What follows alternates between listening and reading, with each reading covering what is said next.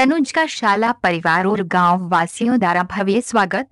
Deori digital शाला शासकीय माध्यमिक शाला मडपी प्रिया।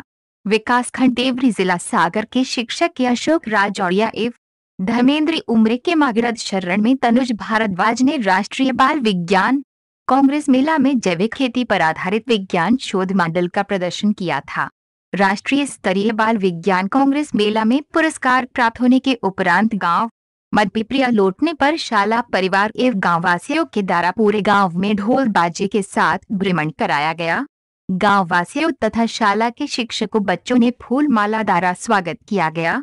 तनुज का हर गाँव वासियों ने रोरी और फूल माला पहनाकर स्वागत किया। तनुज इस उपलब्धि पर पूरे गाँव वासियों अपने आप गौरवान्वित महसूस कर रहे हैं।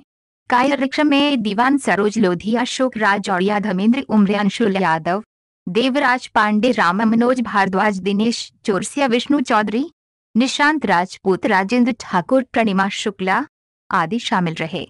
संवाददाता अमित राजपूत, देवरी जिला सागर।